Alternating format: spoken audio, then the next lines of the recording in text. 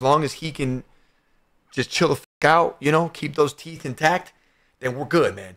Gotta chill out with the buck teeth. As he lets them teeth out, they get a little loose. He starts chewing on the whole fucking map, man. You gotta, gotta, gotta chill out. You, you know what I mean?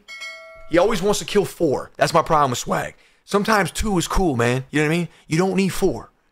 When you try to go for four, you die in the third one, and then we gotta revive you. Well, I gotta revive Tim. So, you see what you just did? Right. We got money for we got money like that. All right. I'll play solo. Play solo to get warmed up. When we get